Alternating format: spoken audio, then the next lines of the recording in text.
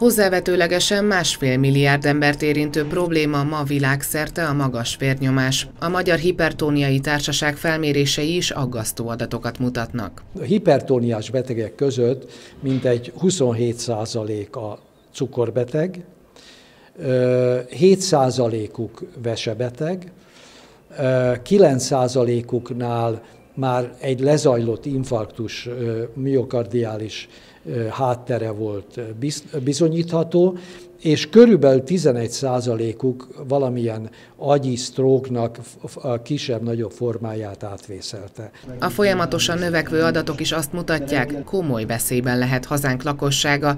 A magas vérnyomás ugyanis számos szövődménnyel jár, végső esetben pedig halálhoz is vezethet.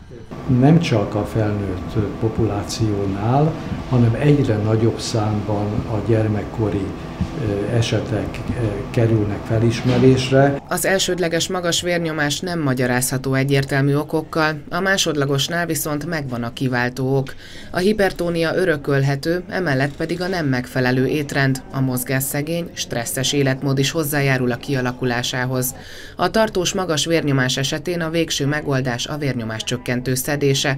Sokan azonban kerülik a tabletta használatát, annak nélkülözése viszont nagyobb kockázatokkal is járhat. Olyan korcsoport eloszlása van a magas vérnyomásnak, olyan serdülőkorban olyan 2-3 százalékuk a serdülőknek már magas vérnyomástól szenved.